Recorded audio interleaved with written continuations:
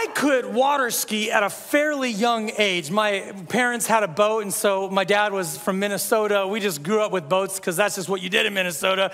And so we were always out on the lake. I could ski with two skis. And around 12 years of age, my parents said to me, Jeff, you really need to learn how to slalom. And uh, they meant it. You know what slaloming is? Right? It's just one ski, okay? Skiing with one ski instead of two. So they're like, it is time to take this one and put it away. And I'll tell you what, man, I was freaking out because I, I am the older sibling in my family. And if you're an older sibling, you'll know, or if you have an older sibling, you know, the older siblings are conscientious. They clean up after themselves, they don't like to hurt people. And then you've got younger siblings. Those of you who are younger siblings in here, I can tell who you are because it's just a little messier around you. I'm just not joking. Nevertheless, right. So, right, the older child tends to be more conscientious, but the older children also tend to be more cautious, more, more careful, more fearful in a lot of ways. And so, I, as the older child, didn't want to die. And so, when my parents told me just one ski in our family, it was not a suggestion, it was a need. You got to learn how to do this. I got in the water and I only tried halfway. You ever try anything halfway?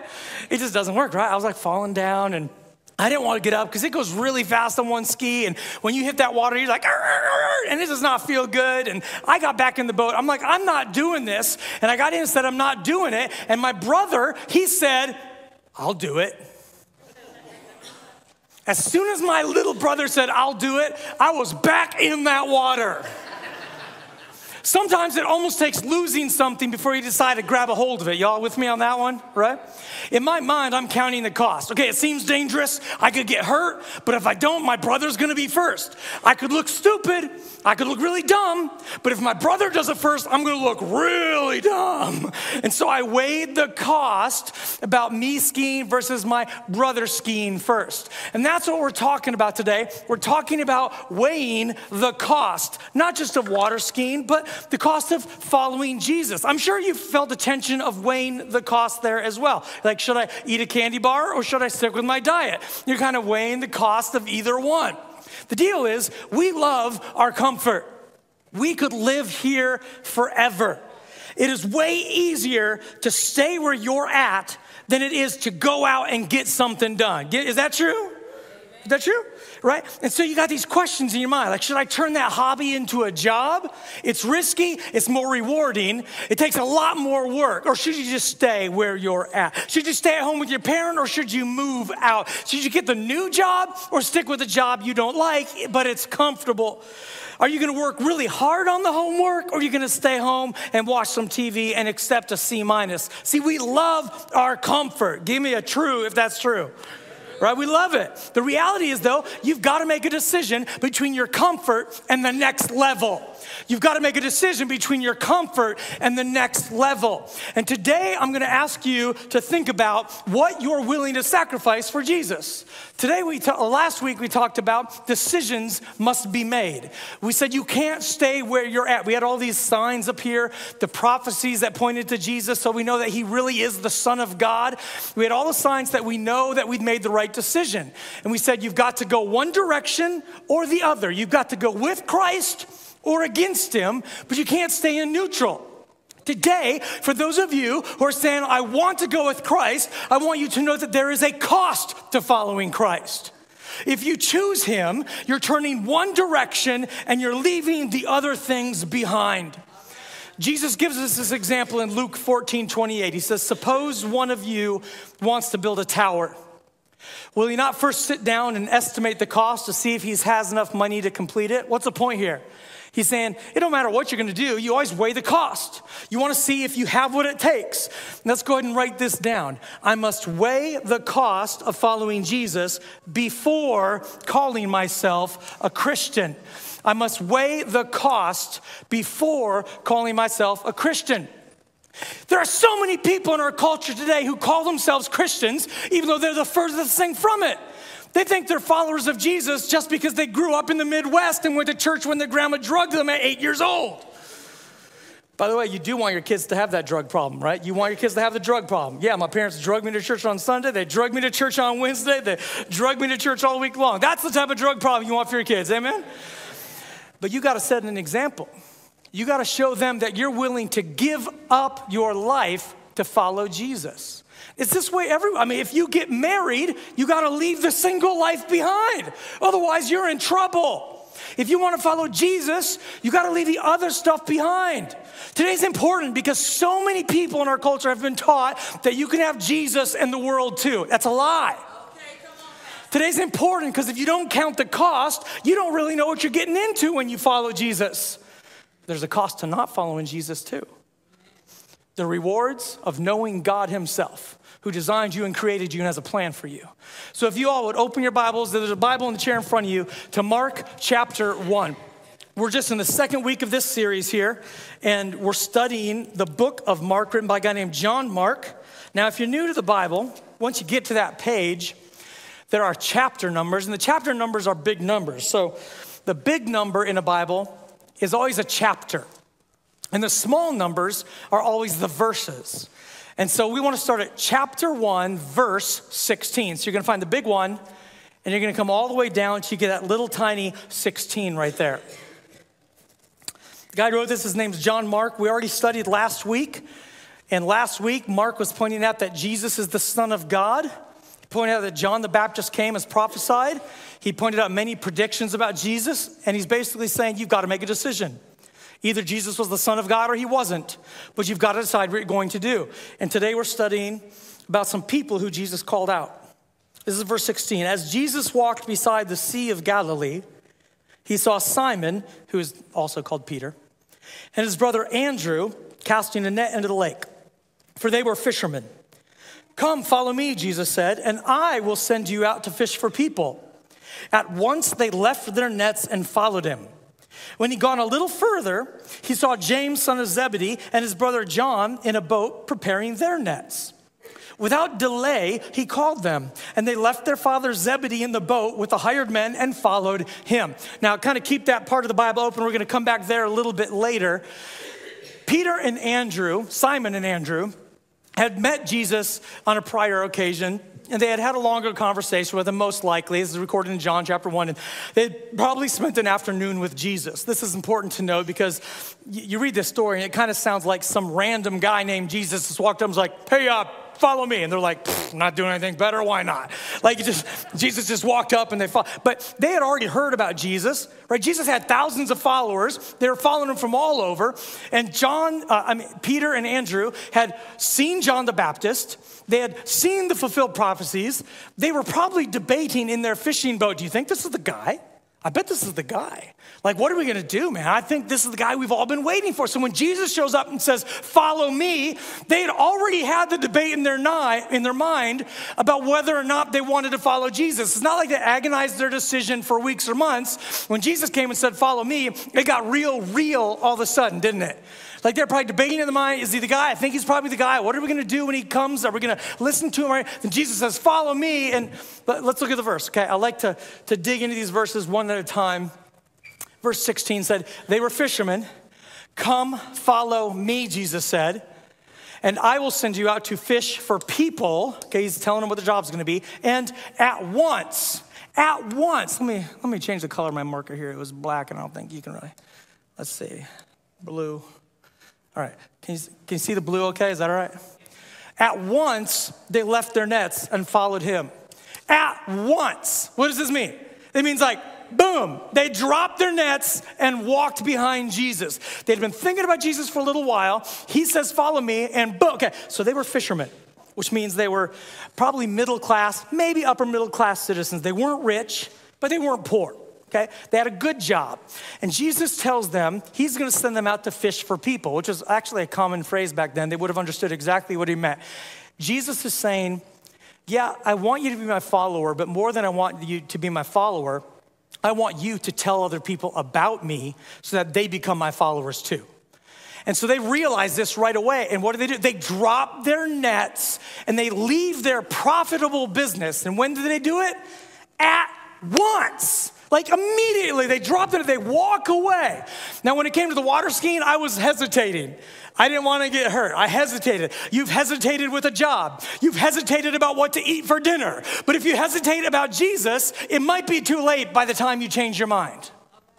You don't want to wait till it's too late. You don't know when God's going to call your name and your day's going to come. We've all had friends or family members who died too early, haven't we? We all have people we know. We know it's a reality that we don't know when our time ends. We don't know when God's going to call us home. And when God calls us home, that's it. You don't get to make a decision anymore. You've already made it. You don't want to wait. Jesus is calling you. Now, there are some other guys in this story too. So that was verse 16 to 18. Verses 19 and 20, it says, there was James, son of Zebedee, and his brother John. So you got these two brothers here. Without delay, he called them. So Jesus is jumping on this. Without delay, he called them, and they left their father Zebedee in the boat with the hired men and followed him. So we know that John and James had servants. So they were probably upper middle class. They may have been wealthy. They owned their own business. They had employees. They, and they too left their profitable business and they left it at one, they just left it behind, just like Peter and Andrew did. They left their sources of income to follow Jesus with no guarantee whatsoever. I want you to think about this. This is kind of a big deal. What would it take for you to leave your source of income right now to go do something that Jesus wants you to do and you have no idea what's going to happen? Whether you're going to have enough food or money or any, you just don't know. Let's write this down. Like Peter, Andrew, James, and John, the question is would I be willing to follow Jesus if it cost me my job and all my income without any guarantee of what would happen next? Would you? There's a cost there. Some of you are thinking right now about the job you have and certain things they want you to do, or certain things they don't want you to do that you know God wants you to do. This isn't theoretical. Right? They left their money, but they didn't just leave their money. What else did they leave according to this verse? Who? What? Yeah, their dad. They left their dad. Now, now this isn't in the Bible, but I imagine this is how it went. Their dad's standing there. He sees off in the distance this Jesus guy. Oh, there's that Jesus. He's that hippie guy all those kids are following. He's got that long hair and James and John are like, oh, that's Jesus. Like we were talking about him and we think he might be the Messiah. Jesus walks up and, and says, follow me. And the dad's working on his fishing nets because he doesn't give a hoot. And the kids, James and John, they're like, yeah. And they jump out of the boat and the dad's like, where are you going? They're like, we're going to follow Jesus. He's like, how long will you be gone? And they're like, bye. Dad looks at the employees. Did you know about this? Like, what is happening? I mean, that's just an, imaginary story, but it's actually a huge deal because many Jewish teachers at that time felt that the greatest commandment was to honor your parents. So to leave suddenly and leave your dad in the boat and to leave him behind without warning would have been beyond rude. Many of them would have considered it immoral. So these guys were following Jesus at the cost of their reputation, their father's business, and their own livelihood. Let's write this down. Like Peter, Andrew, James, and John, would I be willing to follow Jesus if it costs me my family and friends? There's a cost there. I kind of got into this TV show for a while called Alone. Anyone ever watched this show Alone? You know what I'm talking about? Okay, if you haven't watched it, you should definitely watch the series. It's on, I think it's Netflix. And uh, so what they do is they take 10 people and they allow them to pick a few supplies from a, an approved list. Like you can have a tarp or a knife or a hatchet, some very small list of supplies, and they drop you off in the wilderness. And when I say the wilderness, I'm not talking Oakdale Park. I'm, t- I'm talking like in the, in the middle of Alaska, there's not a town for 40 miles, and help can't even get to them for an hour. They have an emergency beacon, but they push it like it might be an hour before someone even gets to them. And so they're out there in the middle of nowhere with nothing except a few supplies, and the goal is to see who survives the longest. And it's actually a difficult and devastating journey. Of course, everybody watches the show thinks they could do it. I, I, I was watching the show, and a couple episodes in, I'm like, I could do that. I could probably win that. Never find, mind the fact that like I have a desk job and uh, my idea of suffering is when I run out of Doritos, you know? like, seriously, I don't even like putting tents up that I buy in the store. I'm like, who made these instructions? But these people are professional survivalists, boat makers, uh, fishermen, professional trappers, like real outdoors people. And they just fall one by one after weeks. Uh, like the longest they stay out is maybe two months. Some people quit on day two. On one of the, one of the series, uh, this guy who was, he was like an outdoors guy, and I thought, this guy is probably gonna win it. And he goes to sleep that night, and then like a bobcat comes sniffing around his tent and making noise, and he was like, forget it, I'm done. forget it. He quits. But the hardest part isn't the wild animals. The hardest part isn't the fact that they almost starve for a month. The hardest part for them is leaving their families. Every single one of them thinks about what's my wife doing right now? What are my kids doing right now? What if they need me right now? And they could win a huge cash prize. And they're all doing what they said they love to do, being in the wilderness. But the reason they quit is because they had to leave their family and they can't do it. What if you had to leave everyone and everything for Jesus? Would you do it? Could you do it? Luke chapter 14. Okay, we're studying Mark, but I want to bounce over to Luke really quickly. It says, in the same, Jesus is talking, in the same way, any of you who does not give up everything he has cannot be my disciple. I'm going to read this again. I want you all to shout out everything. In the same way, any of you who does not give up everything he has cannot be my disciple. I'm going to read part of this again, and this time I'm going to say cannot. If you don't give up everything, he cannot be my disciple. Let's write this down. Jesus said, Any of you who does not give up everything he has cannot be my disciple.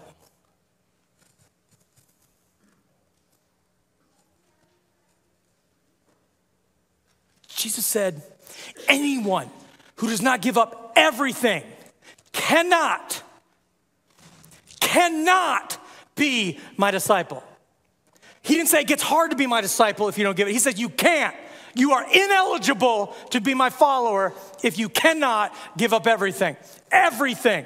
He's talking your home, your friends, your family, your job, your abilities, your vehicle, your clothes, your freedom. Picture that. You're alone.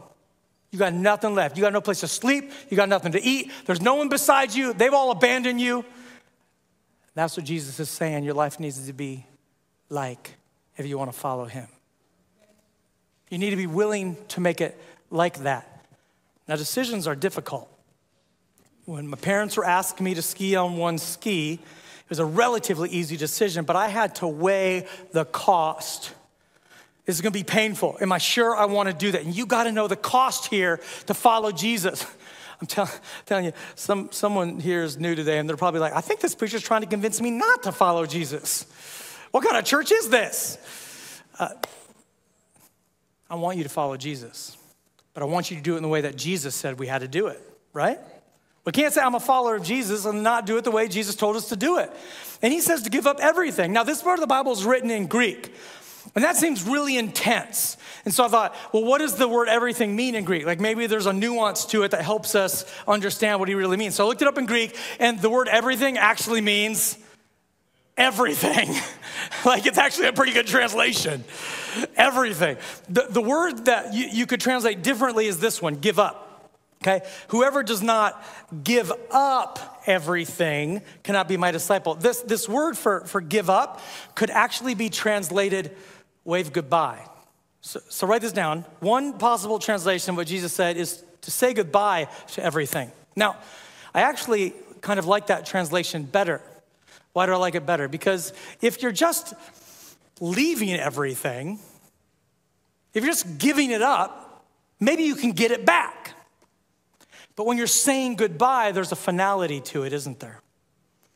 It's, it's James and John in their boat looking at their dad going, Goodbye. We love you. Goodbye. And they leave. They don't know if they're ever going back. And when Jesus says, I want you to give it up, I want you to say goodbye to it, he's saying, I don't know.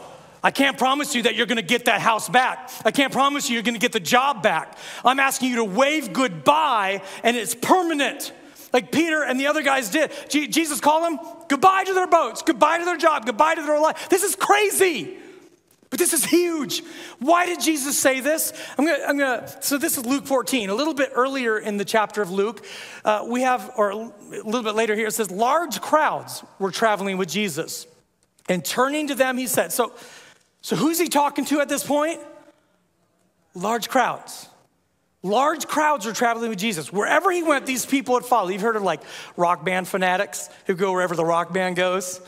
Uh, like some of you, some of you, uh, you know, the Grateful Dead, right? They had like deadheads. Right? That was a little before my time, but uh, there are other bands. People just follow. They go to like every concert. They follow the band around. Well, Jesus had these Jesus freak followers. No matter where he went, they would follow him around. That's a big deal, right? That's a big commitment to say, I'm just gonna follow Jesus. If he goes to Capernaum, I'm going to, if he goes to Galilee, he goes, if I'm going to Washington, D.C., I'm going, like, I'm just gonna follow Jesus. But Jesus sees these large crowds. Here's the rest of the verse. Large crowds are traveling with Jesus, and turning to them, he said, If anyone comes to me and does not hate his father and mother, hate his wife and children, hate his brothers and sisters, yes, even hates his own life, he cannot be my disciple. Write this down. Jesus is not impressed with people who want to follow him. Jesus wants people who know the cost and will pay the price. I love the fact that we have a larger building now. We can minister to more people. There were so many people who helped us do this. God really did a powerful thing here. And so now more people can come to Christ. And I'm praying every week that more people come to Christ and more people come to Christ because we'd love to fill. But if we fill this place with 2,000 people every Sunday morning and 2,000 people every Monday night and 20,000 people the rest of the week, Jesus wouldn't be impressed with the crowds unless the people were willing to leave everything behind for him. He saw the loud crowd, large crowds, and he said, Why are you here? You can't even follow me if you're not willing to hate everything else in your life. He wants to know if those people, that large crowd, is willing to pay the price. So I'd like you to picture the scene. If you're looking at the beginning of the chapter, Luke 14, you see Jesus at the helm of a Pharisee. Now, Pharisees are really religious people. Jesus is sitting in the house, he's eating with them, hanging out with them. There's large crowds around, people around the house, people peeking in the windows, people in the door. The house is crowded. And the Pharisees were the most legalistic group of Jewish people that existed. Okay? They had rules upon rules, and they were one of the groups that believed honor your father and mother was like the most important commandment. So the Pharisees held that their family life was very important. They regulated their family life. So Jesus is at the home of this Pharisee, and these large crowds are there. And in the middle of the Pharisee's home, with all these religious people listening, he says, Hey, if anyone comes to me and doesn't hate their father and mother, you can't be my disciple. I bet you could have heard a pin drop in that house. Imagine you go into someone's house who believes that's the highest law, and you say, You need to disobey that to follow me. Jesus doesn't, of course, literally mean you should hate your mother and father. He's using comparative terms. He didn't want you to kill yourself. But your love and your dedication for Jesus must be so strong that your feeling towards family and yourself would seem like hate comparatively. I want to check and see what, what questions we might. If you, if you got a question during the sermon, you can send a question to ask at revo.church. All right, so someone says, How literal should we be taking this? That's a good question. Uh, our screens right now for the question isn't working, but I still get them up here. So, how literal should we be taking this? I, I think we all take this as literally as each of us can. So, for some of you, your mother and father are really happy that you're at a church, and they're really happy that you're following Jesus. In that instance, there's really not a requirement for you to hate them compared to your love for Jesus. They would probably support you following Jesus no matter what it costs you, right? So that's good. For some of you, you have a family who your parents would be mad at you if you followed Jesus all the way. Maybe they're okay with you showing up to church, but the second you try to give more or do more, they, they get a little, well, I think you're spending too much time there. I think you're going a little overboard. And at that moment, you've got to decide whether you want to please your mommy or your Lord and Savior. Right there, literal, right there. How literally should we take it? As literal as it means for you. For some people, the parents aren't big. For some people, it's your, you love your home. And the fact you love your home so much prevents you from joining a growth group or going out and witnessing to your neighbors. You could sit inside, watch Netflix with your blanket and pillow all day long, and this would just be, this would be your happy place. You should hate your house. You need to get your butt off the couch and out there and meet your neighbor. Why? Because your neighbor's going to hell if they don't know Jesus and your couch is preventing them from knowing Jesus. Does that make sense? So it's literal in that way. Some of you have a job that prevents you from being at church. You're so tired after you get off work that you can't even do your devotions anymore. And, and it's, it's like pushing you away from God, and that money is keeping you away from the Lord.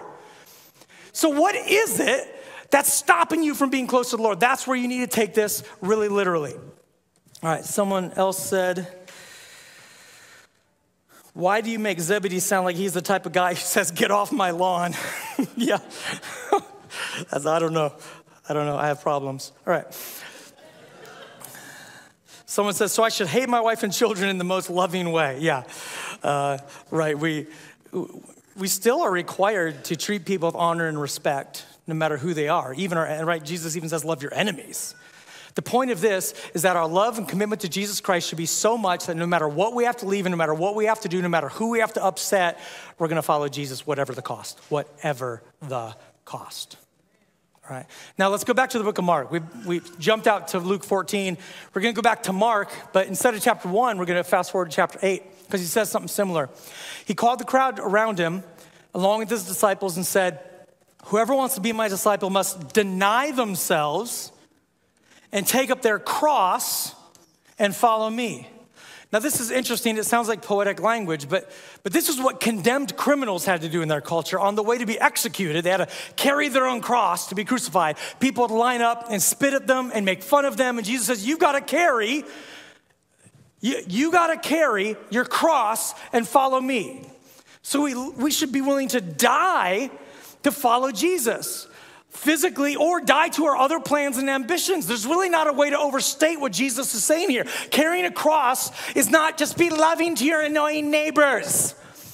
A lot of people are like, oh, Christian, I know I'm a Christian because my neighbor barbecues late at night and it smells gross and I just, I'm kind to them anyway. I'm a good Christian. And I don't know why they walk like that, but. right, this is not telling you just be nice to people it goes beyond that. This is saying you've got to be willing to die for Christ, to give up the things you love.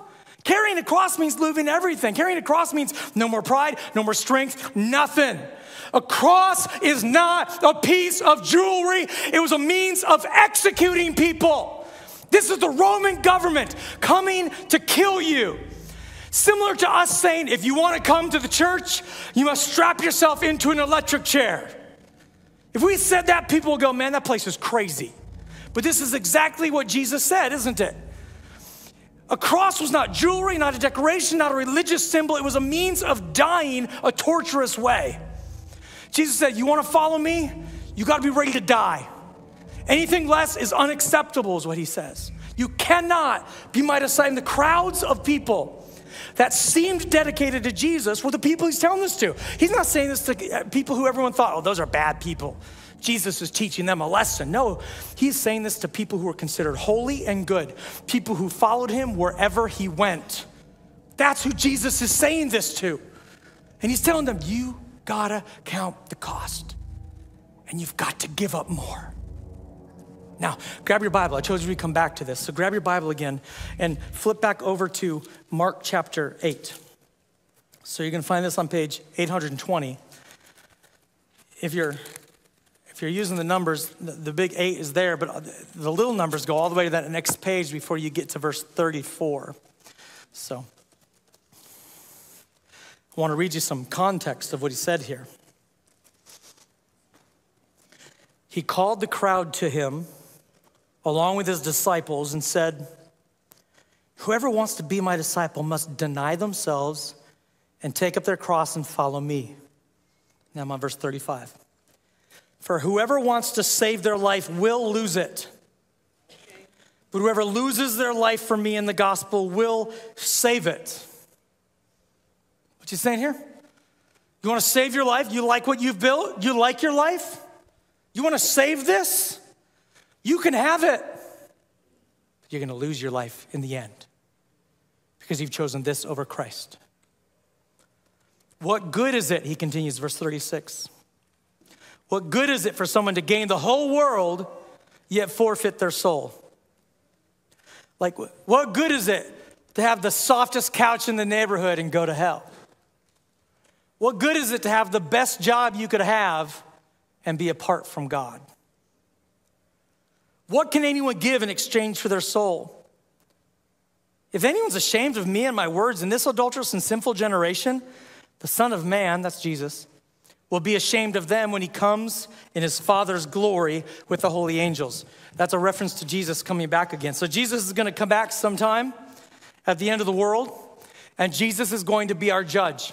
A lot of people says, "Oh, Jesus is so loving. He is loving, but he's also the judge of the world." And he will judge the living and the dead, you and me and everyone who's ever existed. And right now, Jesus is saying, you got to know the cost. There, there's a decision to be made, and it, you, you got to go one way or the other. The cost of not following Jesus is your soul. Oh, you, you'll get the world, man. If you don't want to follow Jesus, I am not here to pressure you. You go out, get the nice house, get the nice car, have sex with whoever you want, get drunk tonight, lie to your boss, do whatever you want. You be as happy as you can be now. It won't last very long. You'll get the world now, but you will lose your soul in the end. The cost of following Jesus, though, is high. You can win now and lose later, or you can lose now and win later. But I got to tell you, the cost of following, let's just write this down. The cost of following Jesus is painfully high. Man, this guy really doesn't want me to follow Jesus. I do. I just want you to know what you're getting into. You may need to leave things that you love. In fact, I guarantee every single one of you is going to have to leave things you love. I want to be clear. What we're not saying today is that you have to do these things to be saved. Right? No one goes to heaven by their own works. No matter how hard you try, you're not good enough to earn the grace of God. See, that we got, we got a problem. Every single one of us has done stupid stuff. Raise your hand if you've ever done stupid stuff. Yes, okay, I saw a couple of people who didn't. All right, good job for you. All right. So we've all done stupid stuff. We've all, it's called sin, right? We know we shouldn't do it. God told us not to do it. Our conscience said we shouldn't do but we did it anyway because it felt good in the moment. And because we've done it, we are judged by God. God's gonna come, He's gonna judge us, and the eternal punish, the, the punishment for offending an eternal being is everlasting punishment. That's why Jesus came to the world. He went to the cross. He died for our sins. The only one who could die for our sins because he was the Son of God. He was an eternal Son of God. So he could pay for our sins on the cross so that you and I didn't have to. Scripture says if you believe that Jesus died for you and rose from the dead, and if you say, Jesus is my Lord and accept his forgiveness, then you're saved. But you are saved by the grace of God. It's forgiveness, it's free, it doesn't cost you a thing. But once you say, I've been forgiven, now the cost comes. Because nobody who receives forgiveness of Jesus continues their life as they led before. Everyone who receives free grace from God gets changed on the inside out, and it's gonna cost you something. In fact, if you're unwilling to pay the price to follow Jesus, then I would question whether or not you really accepted his forgiveness in the first place. Because his forgiveness changes you and it changes me. It changed Peter and Andrew and James and John to the point where they said goodbye to their old lives. We need to say goodbye to our old lives. If you're a real follower, you'll give it up. Consider the stories of godly men and women who gave up their lives to follow Jesus. Like these are important stories, and, and I think you should know some of these stories. You should read some of these books. Like there's a guy named Martin Luther. He was excommunicated by the Catholic Church on January 3rd, 1521. He was a, a priest in the Catholic Church, but he saw all sorts of problems with the, with the church, and so he had a willingness to die for Jesus. How did this come about? He saw the problems and he posted what's known as the 95 Theses, the, the 95 problems that were, were in the Catholic Church. Now, he was a priest, he worked at their seminary, he was a well known guy in the Catholic Church. And because he posted these 95 problems, the Catholic Church got back at him. They excommunicated him, and the emperor declared him to be an outlaw. They banned his writings. They demanded his arrest. The emperor made it illegal to house Martin Luther. So if you saw him, you couldn't invite him to your home. The emperor made it illegal to give him food. The emperor made it legal for anyone to kill Martin Luther on sight with no questions asked. But Luther continued his fight to have a pure church. Why? Because he cared about Jesus more than he cared about his own life. He weighed the cost and the cost was high and it was worth it. You've maybe heard of Shadrach, Meshach, and Abednego, right? They, they, they lived a long time ago. The Bible tells the story about how they worked under a king named Nebuchadnezzar. And the king made an idol and said everybody had to bow down to this idol. But Shadrach, Meshach, and Abednego, they were Jewish people. They said, no, we're not going to bow down to that idol. And so the king brought them in his presence. And, and the punishment for not bowing down would be to be burned to death. And this is Daniel chapter 3 in the Bible. Shadrach, Meshach, and Abednego replied to the king, Oh, Nebuchadnezzar, we do not need to defend ourselves before you in this matter. If we are thrown into the blazing furnace, the God we serve is able to save us from it. And he will rescue us from your hand, O king. But even if he does not, we want you to know, O king, that we will not serve your gods or worship the image of gold that you have set up. What did they say? I love this story. I love this quote. What did they say? They said, Oh, you want to worship the idol? Guess what? We're not going to do that. You can throw us into the furnace and God will save us. And even if He doesn't, screw you. Maybe that last part wasn't very Christian. Maybe that wasn't the last, I don't. But you get the point, right? He said, Even if you kill us, don't matter. I'm not bound down to your idol, even if it costs me my life high cost, high commitment, no matter what. Amen. I want you to think about it. I want you to think about it. There's a guy named Jonathan Edwards, very highly regarded scholar. He was a preacher and pastor. He's considered America's most original philosophical theologian. Very smart guy. He would study for like 13 hours a day, so he was smarter than us, okay? And Jonathan Edwards made a list of 70 resolutions by which he said he was going to live his life. You should read the whole list sometime. It's a fascinating list. But I want to read you resolution number seven. Resolved, never to do anything which I should be afraid to do if it were the last hour of my life. What does this mean? If I knew that I was going to come face to face with God in 60 minutes, would I be doing what I'm doing right now? And if I wouldn't, then I best never do it. If I'm having sex with someone I'm not married to, and I know I'm meeting God in five minutes, would I, would I be doing that? No, then I shouldn't do it. If I'm taking stuff from my workplace I got no business taking, I'm taking home because nobody notices, would I do that if I was gonna meet God in 30 minutes? No, I shouldn't do it. He's saying, I've got a high standard of living a high standard, and I should not waver from that high standard. It's a standard he stood for even when his church fired him for preaching something they didn't like. I consider myself a really blessed pastor because the more I offend y'all, the more you like it. So that's nice. I appreciate that. like that's that's a good sign, you know, because people are like, that hurt, thank you. I'm like, okay.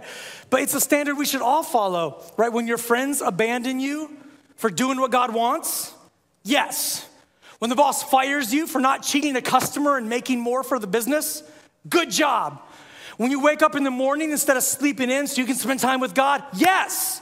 You're weighing the cost of these things, and some of them are painful, but it's worth it. Are you willing to follow Jesus? There is a cost. It may be your popularity, it may be your money, it may be your comfort. In fact, it almost certainly is your comfort. Will you follow Jesus knowing that He demands everything? Will you follow Jesus knowing He demands everything? I'll see if any more questions came in real quick. Uh, not yet. Okay. Luke 14, 33 says this. In the same way, any of you who does not give everything has cannot be my disciple. So, knowing that, I want you to look at your outline and don't circle the answer yet, but this is the question that God is asking you Are you willing to pay the cost that Jesus demands? Understand that it's much more than a circle on a paper, it's more than a powerless word. It is you and your soul, your thoughts and decisions. It, it is your decision. If you decide yes, then you will be willingly giving your life to Christ and you will have a high price to pay. If you decide no, then you don't have any cost to pay at all. You can go home and do whatever you want today, live a good life. Your cost comes later. If you do not circle one, you have not chosen to follow Jesus and you have chosen the way of the world. Here's a suggestion I have for all of us when we're deciding how far do I want to take this Jesus thing. I suggest we read some books about people who've chosen to give their life for Jesus. You can write this down. Practical application. Reading books of martyrs and great Christians who sacrificed are actually encouraging and increase my desire to live boldly for God right now. So instead of feeding my mind on fictional nonsense, why not read the biographies of great men and women of God? And I don't mean all fiction is nonsense, but there is some fictional nonsense out there. You know what I'm talking about, right? There's some really bad books. So why not open up some books like uh, 50 People Every Christian Should Know? These are 50 short stories or uh, little biographies about 50 people you should know who love the Lord and follow Him. Like this guy here, it's Charles Spurgeon. I'm reading a whole book about him right now. Just amazing men and women of God. Here's another book called Jesus Freaks and Foxe's Book of Martyrs. So, Jesus Freaks is an updated version of Foxe's Book of Martyrs. And what these books are, it is an actual retelling of people who gave up their life for Jesus. So it'll say 1857, the setting was Germany, and this is what happened, and here's why this person was persecuted, and here's why they decided to follow Jesus, and here's how they died. It's an amazing book. In fact, as I was thinking about this, I, was, I went to a movie on Friday, I think it was Friday, and I found out there's another movie coming out this fall called Bonhoeffer about a guy named Dietrich Bonhoeffer. Any of you know who that is? Oh my goodness, this guy. He was a pastor who wrote a book called The Cost of Discipleship. Basically, the book is an expanded version of the sermon today. Uh, he, he says this in his book When Christ calls a man, he bids him come and die. So when you were called to Christ, Bonhoeffer says, when you receive forgiveness, Jesus wasn't like, come on, let's go on rides was like, come on, let's go die. And he took this seriously because Bonhoeffer was a pastor in Germany when Hitler came to power. And he fought against Hitler, he preached against Hitler, he taught his church against Hitler, he was involved in an assassination plot against Hitler. He was a pacifist pastor who thought Hitler was so, uh, anyway, you got to watch the movie, read the book, but he, he was put into a concentration camp for a year and a half, and then he was hung as a traitor. He believed when Christ said to come, you must die for those convictions. He was not a fan of churches that preached cheap grace. What's cheap grace? Well, he says this cheap grace is the preaching of forgiveness without requiring repentance. Cheap grace is baptism without church discipline. Cheap grace is communion without confession. When you come to church here and you get baptized, one of the things we ask is Are you in a growth group? Are you in a small group? Who's holding you accountable? Because we don't want people to be baptized unless they're gonna be held accountable for their life. We say people need jerk what? Jerk. Jerk friends. If, uh, if you're new to here, a jerk friend is someone who loves you enough to tell you what you don't wanna hear. They'll tell you, man, you are supposed to be following Jesus. This is not the way to go about it. You don't want cheap grace in your life. You if you're going to a church and they tell you love, forgiveness, God cares about you, but they never say you got to stop your sin, church has problems. We want repentance along with the forgiveness. So read those books, watch that movie about Bonhoeffer. Uh, there's a book called Hudson Taylor's Spiritual Secret. I read this book a number of years ago. It changed my life. Hudson Taylor wanted to be a missionary in China, so he got a job in, in his home area of Britain. He lived on his own. He studied Chinese. He, he didn't have enough money for actual study materials. He didn't, there was no Duolingo back then. So he got a Chinese Bible and an English Bible, and he taught himself Chinese by comparing them. That's crazy. But God was his one consuming purpose. So studied Chinese so he could go to China and be a missionary. But in the meantime, he wanted to tell all his neighbors about Jesus, everybody he could. And this is what he said. Butter, do we have the quote? Buttermilk and other luxuries I ceased to use. you ever heard someone call butter a luxury before? I ceased to use buttermilk. Oh, wait, go back. We're not done yet. That's okay, I forgive you. Buttermilk and other luxuries I ceased to use and found that by living mainly on oatmeal and rice, with occasional variations, a very small sum was sufficient for my needs. In this way, I had more than two thirds of my income available for other purposes. And my experience was that the less I spent on myself, the more I gave to others, the fuller of happiness and blessing did my soul become. He was 19 years old. Total focus on his purpose. The people in our culture, they look up to people who live in luxury and self indulgence. Hudson Taylor lived on oatmeal and rice, and he did more than any of them ever will. in the eyes of God.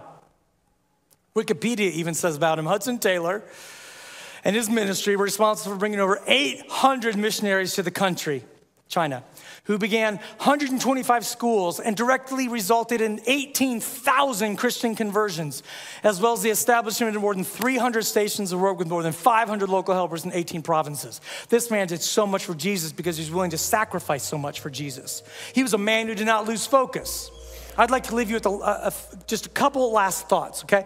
Uh, someone once asked Jesus a question about how hard it was to get into heaven, and Jesus said it was a very narrow door. And he says, Make every effort to enter through the narrow door because many, I tell you, will try to enter and will not be able to. He says it's a narrow door. Meaning people can't fit in there. They can't, there's gonna be people who try to get into the kingdom of God, but they can't get in. He doesn't mean like they're not capable enough. It means they're like, okay, Jesus, I'm ready to enter the kingdom of God. And they were not willing to put it down, what they love, to enter. So they can't go in because the door's narrow and they're holding on to too much stuff from their life. So they can't go. One more thing before we go. One more verse before you go. Because you have to get this, okay? There is a cost to follow Jesus, but there's also rewards to follow Jesus. Like if someone were to say, well, doesn't God want me to be happy?